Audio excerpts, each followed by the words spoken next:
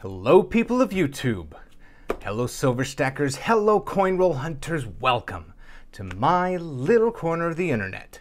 This is Michael from Penny Haven, and first off, if you haven't yet, please hit that subscribe button, then give it a like, then come back over here and hit that bell icon so you know when my new videos come out. Alright, I was just going to edit this video and I realized I deleted the video.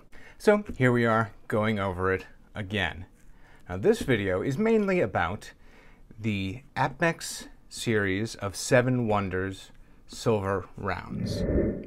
They just released the third offering in the series. I'm very excited about this. This is the first series that I've ever gotten in on at the very beginning and that I've ever purchased every single one that they've released so far. Like I said, there's only three so far, but I'm very excited about this. Uh, this is the only series that I collect, and I can't wait to have all seven.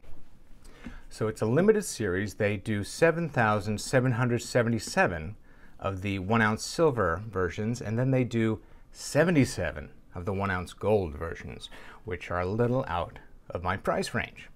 So I'm going to show you the previous ones first, and you can choose to receive them in this fancy collector's tin, which I've done in the past and shall continue to do for the entire series. So the first one was the Colossus of Rhodes, and that's just a beautiful coin. Look at that.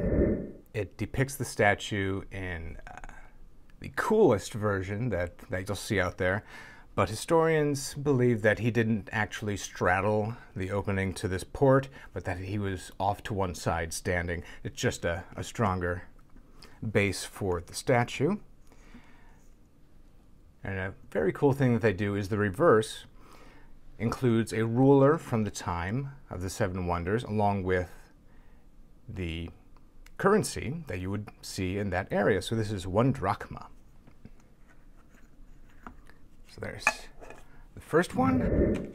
Second release is The Hanging Gardens of Babylon. Also very cool.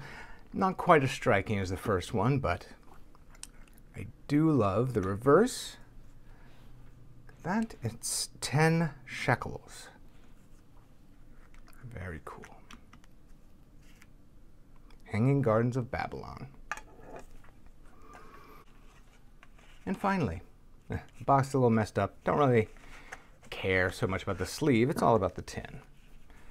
The one that I just got a couple days ago, the Lighthouse at Alexandria. Beautiful. So I love the look of this coin. The fields are mirrored. You have the light frost for the water and the heavy frost for the letters and the actual lighthouse itself. And the smoke coming from the top. Very cool.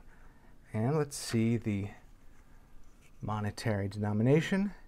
It's Tetradrachm, I believe. Very cool Egyptian headdress there. All right. So that's that's it. That's the newest update from APMEX. I love this series. I cannot wait for the next one to come out. It seemed like it was forever between the first and second ones. So I'm not sure. I had contacted them in the past. I don't think there's a set schedule for release. So I will just keep uh, keep going back to APMEX and checking it out. You wonder if that's you know part of their plan. Keep you coming around more. All right. And the second thing I have to show you tonight. Now, I'm not much of a currency collector. You will have heard me say that if you've been watching my videos very much, I'm sure. But this came across my desk and I just had to share it with you. All right. So all of you guys out there that uh, sort stacks of bills, you're probably looking for a star right now, which isn't there, or radar, a repeater, a binary note, trinary note, a birthday note. It is none of those things. So what is it? You might ask? Well, I noticed first off that the torch and this 10 here just look very weird, like somebody took uh, almost like fingernail polish and did this torch and like a little pen, a little sparkly pen to do this 10 here, and you'll see that people draw on notes all the time. But as you start to get into the more technical uh, things, you realize that this is a fake bill. This is counterfeit. Let me tell you, the, the paper that they used, it feels really good. It really does. It's got, uh, it's got the weight, it folds, it creases like US currency. Let's bring this down here. See, there's no, there should be a little face in that oval off to the right side there, behind We the People. It's not there. There is no strip, of course. The clever thing about counterfeiting $10 bills is people aren't really going to hold those up to the light as often as a 20, 50, or 100. Of course, they're not always going to mark them with a counterfeit pen. So that's why it's attractive to counterfeiters to do the $10 bills. Also, there's some interesting rainbow coloring on the steps here. I've taken a close look at it, and it appears like it's in the ink. I don't know what that's about. It may be that that's actually on the real 10, and I just never noticed it because I haven't I haven't sat down and looked at a real 10 this intently, looking for uh, you know issues. Yeah.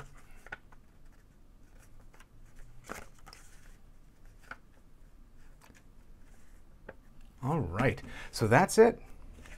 Keep an eye out, people. This was used by a customer at my wife's place of business, and she thought I would find it interesting, brought it home for me to make this little video with.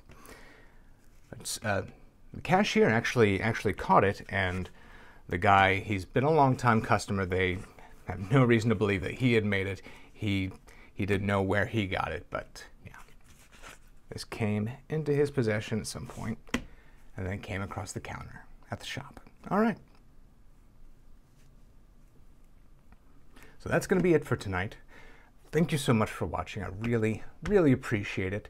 Thank you to my Patreon supporters. Thank you to my YouTube channel members. This is Michael from Penny Haven. Happy hunting.